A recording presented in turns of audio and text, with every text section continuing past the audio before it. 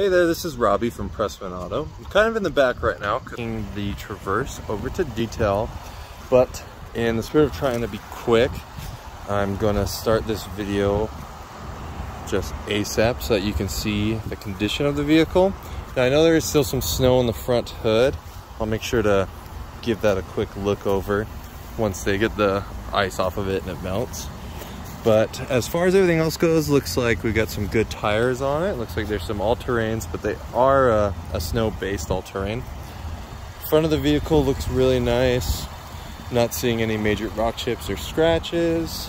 Bumper alignment's nice and good. It looks like something, oh, it's just missing a screw right here. So I'll make sure that, well, I get them to put a screw in that. Going on to this side.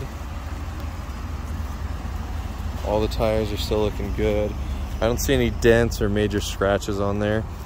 They're really good about getting any of those little dents or scratches just removed. Looks like it does have a tow hitch cover. It's got the rear parking sensors. And then onto this side.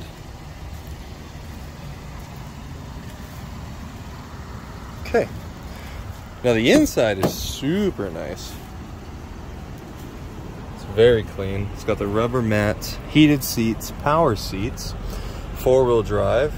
It does have the tow package. Captain's chairs. Third row seating, dual sunroofs, Apple CarPlay. Cool little hidey hole. Heated steering wheel, doesn't smell like cigarettes or anything. Rubber floor mats go all the way back. Climate control in the rear. Headliner's nice and clean. It's a very nice Traverse. If there's anything else you'd like to see, let me know. But once it gets out of the wash, I'll make sure to give it a good look over and maybe just take another quick video for you when it's nice and cleaned up.